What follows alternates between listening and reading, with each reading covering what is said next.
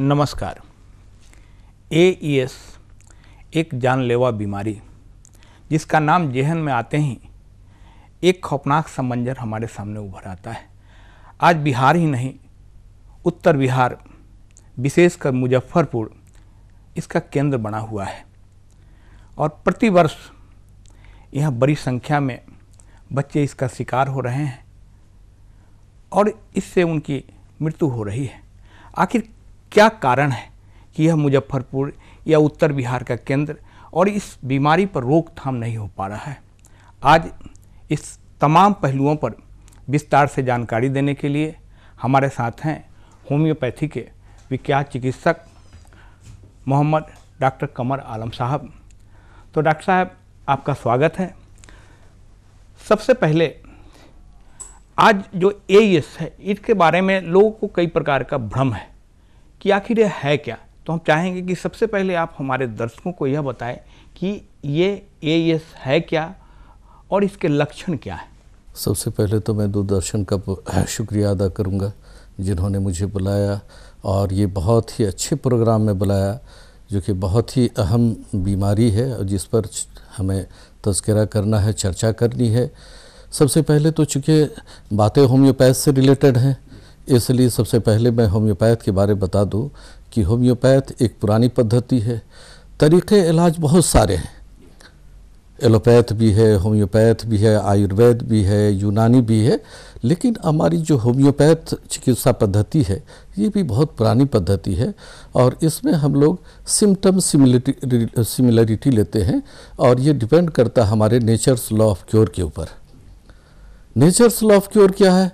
केवी का dynamic power is permanently sting by stronger stronger one if both are similar in manifestation and different in kind एक ही तरह की दो चीज़ें अगर है, एक अगर मज़बूत है, दूसरी कमज़ोर है तो जो मज़बूत चीज़ें हैं, वो वीक को दबा देती है। ठीक उसी तरह से नेचर्स लॉ पर ही हमारी होम्योपैथ आधारित है।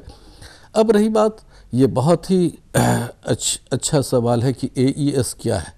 ए का मतलब होता है acute encephalitis syndrome acute encephalitis encephalon के माने इंसफ्लॉन के माने होता है ब्रेन के। जहाँ टिस लगा होगा, उसका मतलब ही होता है इन्फ्लेमेशन जैसे मेनिंजाइटिस डर्मेटाइटिस अपेंडिसाइटिस जहाँ टिस लगा इट मीन्स की इन्फ्लेमेशन ये जो एक्यूट इंसिफ्लाइटिस इंसेफ्लॉन ब्रेन को कहते हैं। और इंसेफ्लाइटिस का मतलब ये होता है कि दिमाग के अंदर सूजन का आ जाना, बीमारी, ये ब्रेन के अंदर सूजन का आ जाना। तो अब जब सूजन होगा तो उससे कई सिम्टम अपियर होते हैं। इसमें आमतौर से हम लोग देखते हैं कि ये जो बीमारी होती है, इसके कई कॉज है। एक तो बैक्टीरियल है, दूसरा वायरल है। आमतौर से बैक्टीरिया वायरल में कई वायरस होते हैं, जैसे हर्पिस सिंप्लेक्स है टोगा वायरस है, अरबो वायरस है, ये कॉजेटिव ऑर्गेनिज्म है। कॉजेटिव ऑर्गेनिज्म का मतलब ये होता है कि ये वायरस उस बीमारी को पैदा करते हैं। और जहाँ तक इसके लक्षण की बातें हैं, ये तो कॉजेटिव ऑर्गेनिज्म हुआ। कैसे ये बीमारी पैदा होती है? ये जो बीमारी पैदा हुई है तो उस वायरस से हुई, लेकिन इस वायरस को लाता कौन है? इस वायरस को लाता है ये हमारे मॉस्किटो यानी मच्छर। ये मच्छर ख़ास तौर से ये बीमारी जो है, इसको समर सीज़न डिज़ीज़ भी कहते हैं, यानी गर्मी की बीमारी। इसलिए कि आम तौर से ये जो बीमारी है, ये किसी ख़ास मौसम में, जैसे गर्मी में ही ये पाया जाता है। दूसरी ये सवाल ये था कि ये मुजफ्फ़रपुर में ही क्यों है? उसकी वजह यह है कि सबसे ज़्यादा डैम्प नमी, जहाँ गर्मी हो, नमी हो, मॉइस्चर हो, ह्यूमिडिटी हो, उन जगहों पर बहुत सारी बीमारी जो है वो पनपती है। एक चीज़ बीच में मैं बतला दूँ कि बहुत ऐसी बीमारी है जिसका ताल्लुक हमारे मौसम से है। कुछ बीमारियाँ ऐसी होती हैं जो जाड़े में होती हैं, कुछ बीमारियाँ ऐसी है जो बरसात में होती है, जैसे डायरिया है, कोलरा है, आमतौर से ये वायरल है, ये भी देखता हूँ कि बरसात में बहुत ज़्यादा स्प्रेड करता है। गर्मी के दिनों में जैसे आमतौर से आप देखते हैं कि सन स्ट्रोक लग गया या उसी तरह से। अब ये जो मैंने अभी पॉजिटिव ऑर्गेनिज्म के बारे में बतलाया, ये जो बीमारियाँ हैं, ये ख़ास तौर से गर्मियों में पाई जाती है, गर्मी में होती है, उसकी वजह यह है कि बहुत ज़्यादा गर्मी होती है, साथ ही साथ नमी होती है, इसमें बैक्टीरियल ग्रोथ, वायरल ग्रोथ बहुत ज़्यादा होते हैं, इसके पॉजिटिव ऑर्गेनिज्म जो हम लोग देखते हैं, जैसे मच्छर वगैरह है तो ये ये जो है, उसको कैरी ऑन करता है। ख़ास तौर से हमारा मुजफ्फ़रपुर शहर बहुत ज़्यादा, एक तो हाईली पॉपुलेटेड है, बहुत ज़्यादा आबादी है, दूसरी बात यहाँ डैम्प बहुत ज़्यादा है, नमी बहुत ज़्यादा है, दूसरी चीज़ यहाँ इलिट्रेसी बहुत ज़्यादा है, यानी तालीम की कमी, जिसको हम लोग कहें कि जानकारी की कमी, जानकारी के अभाव में। दूसरी चीज़ के, जी, अज्ञानता जिसको कहा जाए तो ये एक वजह होती है, जिसकी वजह से हमारे मुजफ्फ़रपुर में ये बीमारियाँ ज़्यादा हैं और चूँकि ये फेवरेबल कंडीशन मुजफ्फ़रपुर में मिलता है उसको, उसके लिए समझा जाए कि भोज है, मुजफ्फ़रपुर जो है, उस बैक्टीरिया और वायरस को ग्रोथ लेने के लिए उसका फेवरेबल इन्वायरमेंट है मुजफ्फ़रपुर। इसलिए यहाँ ज़्यादा ये मुजफ्फ़रपुर जो है, वो इफ़ेक्टेड है। वैसे एक चीज़ जानकारी के लिए बतला दूँ मैं कि ये जो बीमारी, ये जो इंसेफ्लाइटिस आया, ये सबसे पहले 1955 में अपने इंडिया में वेलोर में देखा गया जो तमिलनाडु में। फिर उसके बाद 1973 में पश्चिमी बंगाल में। लेकिन अभी कई सालों से, कई सालों से अपना बिहार, उत्तर प्रदेश, ये असम, ये सब काफ़ी इफेक्टेड रहे कुछ दिनों पहले उत्तर प्रदेश में भी बहुत ज़्यादा स्प्रेड कर गया था। अभी अभी जो है कई सालों से अपने मुजफ्फ़रपुर में, जी, मुजफ्फ़रपुर में सैकड़ों बच्चे, पिछले साल भी सैकड़ों बच्चे इससे मर गए थे। अब इसके ये देखें कि कैसे हम पहचानेंगे कि ये चमकी, ये जो बुखार है, ये एक्यूट इंसेफ्लाइटिस ही है। जी तो याद रखेंगे कि ये जो बीमारी है, इसका दूसरा नाम लोग चमकी बुखार देहातों में या ऐसे भी जनरल लैंग्वेज में चमकी बुखार कहा जाता है। उसकी वजह यह है कि इसमें जी, चूँकि जब ब्रेन में ब्रेन इन्फ्लेम करेगा, दिमाग में सूजन आएगा तो बच्चे क्या करते हैं? कन्वल्जन में जाते हैं। कन्वल्जन का मतलब ये होता है कि जैसे चमकी होना सबसे पहले तो ये जाने कि इसमें टेम्परेचर हाई राइज चला जाता है। 103 104 तक बुखार चला जाता है। बुखार चूँकि दिमाग पर आता है, इसको दिमागी बुखार भी कहते हैं। तो अब ये जब दिमाग पर पड़े पड़ेगा तो उसकी वजह से बच्चे जो है उसके अंदर कन्वर्जन के साथ साथ क्या होता है कि हाथ पैर अकड़ जाते हैं। बच्चे के अंदर नौसिया वॉमिटिंग टेंडेंसी होती है, उल्टी, मतली वाली कैफियत होती है। साथ ही साथ इसके अंदर हम लोग देखते हैं कि इलेक्ट्रोलाइट की काफ़ी कमी होने लगती है। सोडियम है पोटाशियम है, ये सब कम हो जाते हैं। यहाँ तक कि एक टर्म आता है हाइपो हाइपो का मतलब होता है कि कम हो जाना। एक होता है हाइपर हाइपर के माने किसी चीज़ का ज़्यादा होना। जैसा हाइपर शुगर का बहुत ज़्यादा बढ़ जाना। एक होता है हाइपोग्लेसीमिया तो ये हाइपोग्लेसीमिया हो जाता है इसका। हाइपोग्लेसीमिया का मतलब कि बच्चों के अंदर शुगर की कमी होने लगती है। जब शुगर की कमी होगी तो ऐसे कंडीशन में क्या होता है कि चौंकते हैं बच्चे, डरते हैं। और एक अजीब तरह की कैफियत उसके अंदर होती है। लोग, यानी आदमी को देखकर यहाँ तक कि लाइट तक उसको पसंद नहीं। बेच काफ़ी बेचैनी होती है इसके अंदर। और एक चीज़ और मैं बतला दूँ इस बीच में कि ये जो बीमारी होती है जनरली छोटे बच्चे को छोटे बच्चे का मतलब ये है कि पंद्रह साल से कम उम्र। जनरली देखा गया है कि ग्यारह साल से कम उम्र के जो बच्चे हैं वो मोर इफेक्टेड होते हैं। और ज़्यादातर देखता हूँ कि वो ज़्यादा उसकी वजह यह है कि बच्चे बहुत सेंसिटिव होते हैं, बहुत ससेप्टिबल होते हैं। ससेप्टिबल का मतलब ये होता है कि बहुत जल्दी अटैक यानी चाहे एक्सट्रीम हुट हो हीट हो या एक्सट्रीम कोल्ड उसके दिमाग पर उसका बहुत जल्दी इफ़ेक्ट होता है। तो इसलिए बच्चे ज़्यादा उससे सफ़र होते हैं। डॉक्टर साहब, एक सवाल कि इधर विगत कई वर्षों में हम लोग भी मीडिया से जुड़े रहे हैं, अखबारों में लगातार, खबरों में, समाचार। एक चीज़ हम लोगों ने पाया आकलन के द्वारा कि यह विशेषकर ग्रामीण क्षेत्रों और ग्रामीण क्षेत्रों में भी, शहरी क्षेत्रों में एइस का प्रकोप बहुत ज़्यादा नहीं पड़ पाता है। और ग्रामीण क्षेत्रों में भी इधर का जो कुछ क्षेत्र मुजफ्फरपुर के हैं, वो बिल्कुल अप्रभावित रह जाते हैं और कुछ क्षेत्र विशेष रूप से प्रभावित होते हैं। तो यह क्षेत्र मतलब क्षेत्र विशेष का भी इसका असर पड़ता है, या शहर और ग्रामीण क्षेत्र में विशेष रूप से इसका फैलाव का भी कुछ असर पड़ता है क्या? सवाल बहुत ही अच्छा है, बहुत ही अहम है और कोई भी बीमारी चूँकि बात हो रही है एक्यूट डिज़ीज़ की एक्यूट इंसेफ्लाइटिस सिंड्रोम है, और ये बीमारी चूँकि एक्यूट होती है, जब हम लोग क्लासिफिकेशन ऑफ़ डिज़ीज़ करते हैं, बीमारी को बांटते हैं तो कुछ डिज़ीज़ ऐसी है जो एक्यूट है, एक कुछ है क्रॉनिक है एक्यूट डिज़ीज़ को कई हिस्से में बांटते हैं, जैसे एंडेमिक है पेंडेमिक है तो है क्या कि इसको हम लोग एंडेमिक डिज़ीज़ कहते हैं। बहुत ऐसी बीमारी है जो किसी ख़ास एरिया में होती है। किसी ख़ास एरिया, किसी ख़ास लोकेलिटी में। ये कोई ज़रूरी नहीं कि उसका इफ़ेक्ट पूरे शहर में हो, या पूरे पूरे स्टेट में हो, या पूरे कंट्री में हो जाए।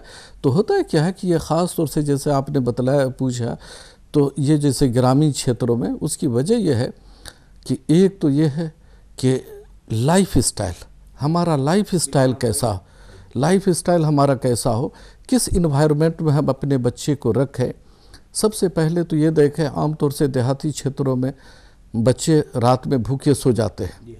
सुबह से शाम तक बच्चे इन्वायरमेंट में अपना खेलते कूदते हैं जी। जी। और रातों में आम तौर से चाहे वो गरीबी हो या भूख की कमी हो जो भी हो या खाना प्रॉपर अगर उसका उसको नहीं मिल पाया बच्चा अगर खाली पेट में रात में सोता है तो वो भी एक वजह होती है। दूसरी वजह क्या है? कि आम तौर से देहातों में बच्चे नंगे बदन खेलते हैं, नंगे बदन सो जाते हैं। बहुत सारे लोग, एक जानकारी के लिए मैं बतला दूँ कि स्किन हमारा सेमी परमिएबल मेम्ब्रेन का बना हुआ है। इसकी खासियत होती है कि जो एसेंशियल एलिमेंट है, उसको एब्जॉर्ब करना और जो वेस्ट प्रोडक्ट है, बेकार चीज़ें हैं, उसको बाहर निकालना। तो होता क्या है कि ये प्रोटेक्शन करता है किस चीज़ से? हीट से कोल्ड से बैक्टीरियल एजेंट से। अब जब बच्चा नंगे बदन होगा तो कई तरह के बैक्टीरी चाहे वो मॉस्किटो बाइट हो या दूसरा इंसेक्ट बाइट हो, वो कर सकता है या डायरेक्ट कांटेक्ट में भी बैक्टीरिया और वायरस उसके स्किन के अंदर आ सकता है और वह अपना सिम्टम उसके लक्षण छोड़ सकता है।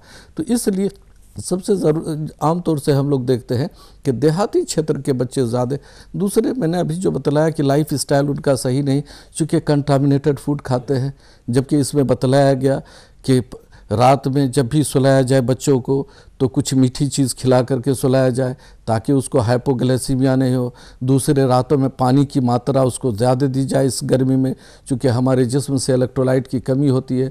सिर्फ़ वो पसीना जो चलता है तो ये नहीं समझना चाहिए कि उससे सिर्फ़ पानी निकला, बल्कि उसके साथ साथ सोडियम है पोटाशियम है, और भी बहुत सारे कंपोनेंट्स हैं जो हमारी बॉडी के अंदर है, वो भी बाहर निकल जाते हैं। तो ऐसे बच्चे जब इससे सफ़र होंगे तो फ़ौर इनको इस तरह के सिम्टम अपियर होने शुरू हो जाएँगे।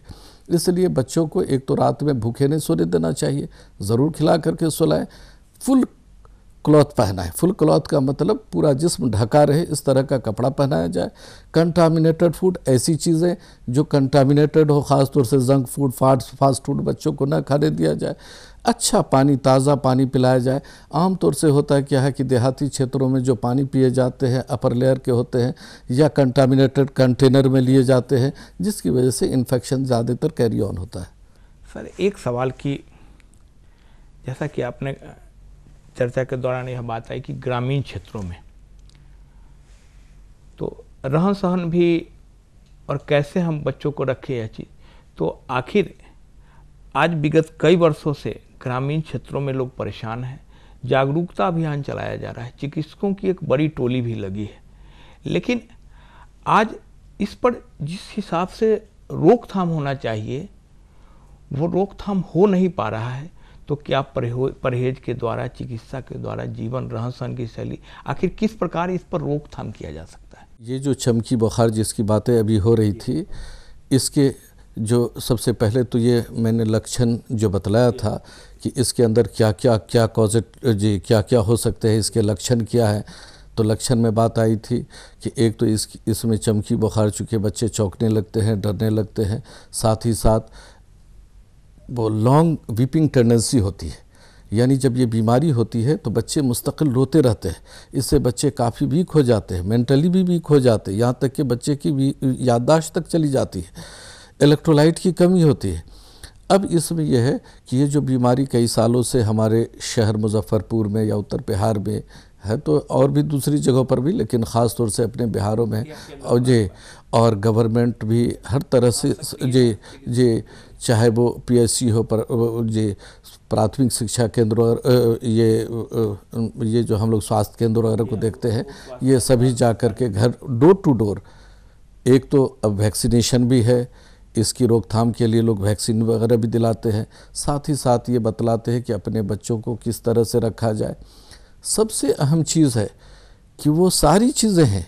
जब तक आदमी खुद उसको नहीं करेगा, उस पर अमल नहीं करेगा, उस उसको नहीं अपनाएगा कि अपने बच्चों को कैसे रखें साफ़ सफ़ाई से रखें, पानी ज़्यादा पिलाएँ, खाली पेट न रहने दें, आमतौर से डेम प्लेस में न रहने दें।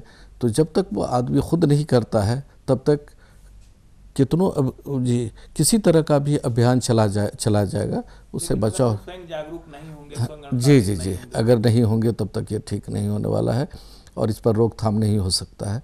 जी।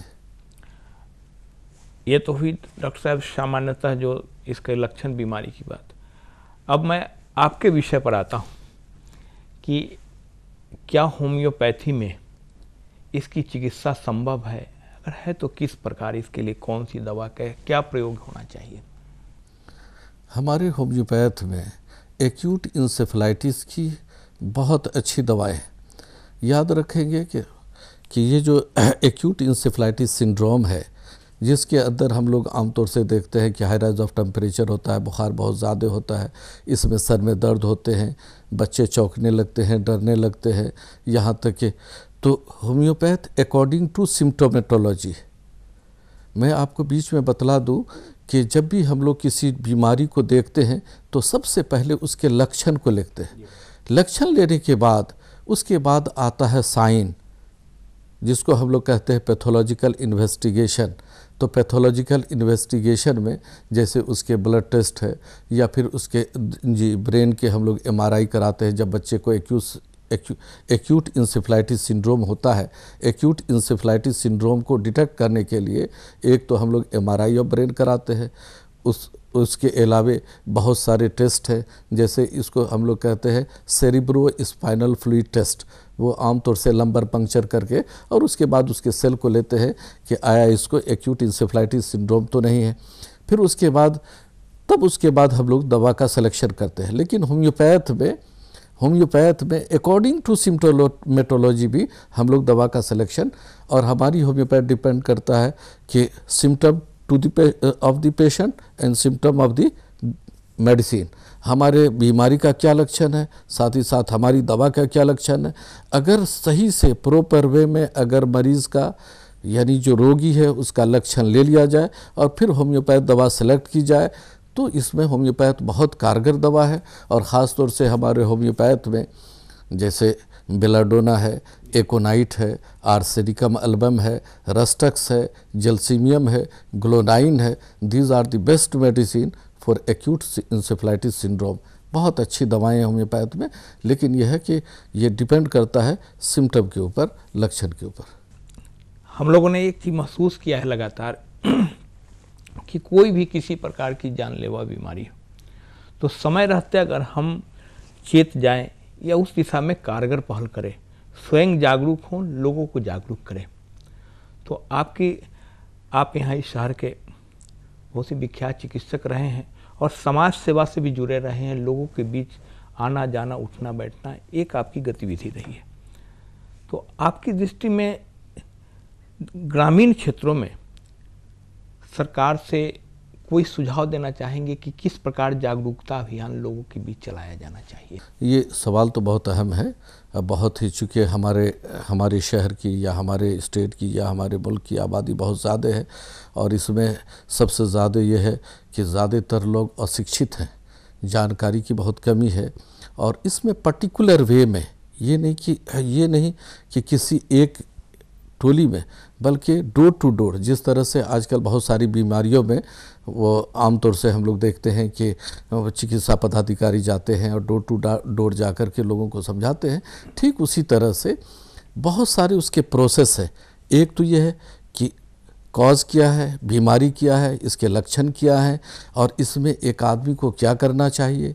अगर अगर वो समझ में नहीं आता है अगर देखें कि सबसे पहले तो ये बता दिया जाए कि अपने तौर पर वो आदमी क्या कर सकता है उसको हम लोग कहते हैं मैनेजमेंट मैनेजमेंट का मतलब कि अगर कोई बीमारी होती है अब रात में अचानक हो गया शाम में हो गया अब ऐसे हालत है जहाँ हम कहीं ले नहीं जा सकते हैं या मेडिसिन का अभाव है तो ऐसी सूरत में इस तरह की चीज़ें दी जाए ऐसी ट्रेनिंग दी जाए कि लोग अपने तौर पर कुछ इस तरह का कर लें तो जी ताकि वो मेंटेन हो जाए। बाद में अपना जहाँ जाए। इसके लिए गवर्नमेंट ने एक ये किया है कि हर जगह सेंटर है और वहाँ जा कर के लोगों को ये चाहिए कि अगर इस तरह का है तो प्राथमिक शिक्षा केंद्र में जा कर के मिले।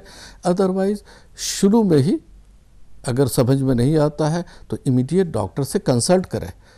और हमारे, ये शिक्षा ये जो हमारी स्वास्थ्य केंद्र जो है, ये भी जा जा करके लोगों को समझाए कि किस तरह से रहना है, क्या करना है। कुछ लोगों को भ्रम है या ग्रामीण क्षेत्रों में अशिक्षा, गरीबी कई प्रकार की समस्या है। इस कारण लोग जागरूक नहीं हो पाते हैं, चिकित्सक तक नहीं पहुँच पाते हैं। और कई प्रकार के अंधविश्वास, भ्रम की भी स्थिति बनी रहती है। कुछ लोग इसको भ्रम से, अंधविश्वास से भी जोड़ते हैं। और कुछ लोग का यह मानना है कि यह छुआछूत की बीमारी है। आप इसके बारे में क्या कहना चाहिए जी, सवाल तो बहुत ही अच्छा है, क्योंकि इसमें जब चमकी बुखार होता है तो बच्चे उसमें ऐसी ऐसी बातें बोलते हैं कि उसका उसका असर ऐसा लगता है कि कहीं ना कहीं ये किसी और चीज़ से ये जुड़ा हुआ है। जी हाँ जी हाँ ये ये आमतौर से देखने को मिलता है। जैसे आमतौर से चिकन पॉक्स वगैरह में भी हम लोग और दूसरी बीमारियों में देखते हैं कि लोग डॉक्टर से जा कर के कंसल्ट नहीं करते हैं बल्कि फूक झाड़ में लग जाते हैं। जी। जबकि ये बहुत ही फैटल होता है और ऐसे में अपने बच्चे को या अपने पेशेंट को लोग खो देते हैं, जबकि ये बातें नहीं हैं। ये ये जो बीमारी है, आमतौर से वायरल होती है, पटने वाली है, हाईली इन्फेक्शस है, हाईली ट्रांसफेरेबल है, एक दूसरे से पट सकता है। पढ़ने की चीज़ है, चूँकि वायरल है, वायरस तो कहीं भी जा सकता है, किसी को भी इफ़ेक्ट कर सकता है। लेकिन चूँकि इसके लक्षण है याद रखेंगे, चूँकि इसको दिमागी बुखार भी कहा जाता है एक्यूट इंसेफ्लाइटिस का मतलब है। तो उसमें होता है क्या है कि हमारा मस्तिष्क एक जगह नहीं रहता है, आदमी उसको कंसंट्रेट नहीं कर सकता है। उस, वो अपने बस में नहीं होता है, जिसकी वजह बोलता है वो ऐसा, जी जी, उसमें कभी वो चूहा से डरता है, कभी वो बतलाता है कि चूहा है, कभी बोलता है कि बंदर है, कभी कुछ कभी कुछ, वो पिछली बातों को भी दोहराता है। प्रेजेंट में भी जाता है, फ्यूचर में भी जाता है, लेकिन वो उस, वो कोई ये चीज़ें फूक झाड़ की नहीं है, बल्कि वो डिज़ीज़ है और डिज़ीज़ के लिए ज़रूरी है कि वो डॉक्टर से कंसल्ट करे और प्रॉपर मेडिसिन उसको दिलाया जाए। सर, आपसे आखिरी सवाल कि आपने कहा कि डैम वाले जगह पर, गंदगी वाले जगह पर, लेकिन पिछले कई वर्षों से लोगों के अंदर यह धारणा बैठ गई है कि गर्मी अगर बढ़ा तो इस बीमारी का प्रकोप बढ़ता है। लेकिन जैसे ही बारिश होती है, मौसम ठंड होता है, यह स्वतः ही इसका प्रकोप समाप्त होने लगता है। इसमें कहाँ तक सच्चाई है? ये जो बीमारी है, पहले ही चर्चा हो चुकी कि ये बीमारी आमतौर से मच्छर के काटने से, दूसरे ये वायरस से होता है, और वायरस कहाँ से, को कैरी कौन करता है? तो मच्छर करता है। और एक चीज़ ये ख्याल रखेंगे, और अब मैं डिटेल बता दूँ इसके बारे में, कि सिर्फ़ ये मच्छर या ये जो वायरस है, जिसके बारे में मैंने बतलाया कि हर्पिस हर्पिस सिम्प्लेक्स है, या टोगा वायरस है, या अरबो वायरस है, सिर्फ़ ये यही नहीं कि सिर्फ़ वो एक्यूट इंसेफ्लाइटिस पैदा करता है, बल्कि इसके द्वारा कई तरह की बीमारियाँ होती है, कई तरह के वायरल डिज़ीज़ होते हैं। जैसे इस मौसम में आम तौर से, अभी जो मौसम है, इसमें आम तौर से चिकन पॉक्स है मिजल्स है, फिर और भी दूसरी, मम्स है, मम्स जिसको गलशोत हम लोग कहते हैं, ये बीमारियाँ भी स्प्रेड करती है और इन्हीं वायरस के द्वारा स्प्रेड जी, स्प्रेड होता है। तो अब है क्या कि सबसे पहले तो ये करना होगा कि हमारे लाइफ स्टाइल को सही रखना होगा। और लाइफ स्टाइल को सही रखने के लिए एक तो ये है कि हम नंगे बदन न रहें, फुल कपड़ा पहने, अपने बच्चों को फुल कपड़ा रखें, डैम से, नमी से, मॉइस्चर से बचाएँ, एक्सट्रीम हीट सख्त गर्मी से, चूँकि यहाँ गर्मी भी ज़्यादा पड़ती है और डैम की नमी भी बहुत ज़्यादा है। मैंने पहले भी बताया कि कुछ बीमारियाँ ऐसी होती हैं कि जो किसी ख़ास मौसम में होती है। गर्मी में कुछ मौसम ऐसा है कि बरसात में ये ये जो मौसम, ये जो गर्मी में चूँकि मच्छर की पैदावार बहुत ज़्यादा हो जाती है और इसकी वजह से आमतौर से ये वायरस को कैरी ऑन करता है, जिसकी वजह से ये बीमारी होती है। सख्त गर्मी होने की वजह से हमारे जिसम से स्वेटिंग बहुत ज़्यादा आता है, पसीना बहुत ज़्यादा आता है इलेक्ट्रोलाइट की हमारे बॉडी से कमी होती है। इस वायरस के इन्फेक्शन से हमारे बॉडी के अंदर हमारे बच्चों के बॉडी के अंदर जो बच्चे आमतौर से छोटे बच्चे जो पंद्रह साल से कम उम्र के बच्चे हैं, उनको हाइपोग्लाइसीमिया हो जाता है शुगर लेवल काफ़ी डाउन होता है। जब शुगर लेवल डाउन होगा तो उससे चमकी चमकी होने लगती है, बच्चे कन्वर्जन में चले जाते हैं। छोटे बच्चे जो न्यू बॉर्न बेबी हैं, जो एक साल के हैं छः महीने के हैं, वो बहुत ज़्यादा रोते हैं, उनकी टेंडेंसी होती है बहुत ज़्यादा। यहाँ तक कि बच्चे गर्दन को ऐंठ लेते हैं, यहाँ तक कि बच्चों के आँखों की रोशनी तक चली जाती है, वो किसी को देख भी नहीं पाते हैं। यहाँ तक कि आमतौर से हम लोग देखते हैं कि इस तकलीफ़ की वजह से उल्टी तक हो जाती है। तो तो इसके लिए वही है कि सबसे पहले हम अपने लाइफ स्टाइल को सही रखें। अगर इस बीमारी से नजात चाहते हैं तो और जी, और इस पर ख़ास ध्यान दिया जाए। और अगर इसको किसी को ये बीमारी होती है तो इमीडिएट चिकित्सा, चिकित्सक से कंसल्ट करें। इसमें ज़रा सा भी लापरवाही न करें। बच्चे को भूखे न सोने दें। बच्चे को पानी ज़्यादा से ज़्यादा मात्रा में पिलाएँ। इस बात का ख़ास ध्यान रहे। खाली पेट बच्चा न रहे। पानी की मात्रा बढ़ाई जाए। अगर इस तरह का होता है तो नमक, चीनी, पानी का घोल या इलेक्ट्रॉल हो या कोई भी घोल। जी, एक और चीज़ मैं बीच में बता दूँ कि इसमें बतलाया जाता है कि तरल पदार्थ ज़्यादा इस्तेमाल किया जाए। लिक्विड डाइट ज़्यादा से ज़्यादा दिए जाए। ऐसे बच्चे जो खाने वाले ऐसे बच्चे जो नहीं खाने वाले हैं, जो छोटे हैं, तीन महीना, चार महीना के, उनको ये चाहिए कि माँ का दूध सबसे बेहतर है। दूध के ज़रिए बच्चे को इलेक्ट्रोलाइट मिलता है, इसलिए छोटे बच्चे को माँ रात में दूध ज़रूर दे करके तब सुलाए। इस बात का ख़ास ख्याल रखा जाए। आज हमारे साथ थे डॉक्टर कमर आलम साहब। आपने एस के सभी पहलुओं पर इसके लक्षण, इसके निदान, परहेज, जागरूकता सभी पहलुओं पर आपने विस्तार से जानकारी दी। इसके लिए और यहाँ पधारे, इसके लिए आपका बहुत बहुत धन्यवाद।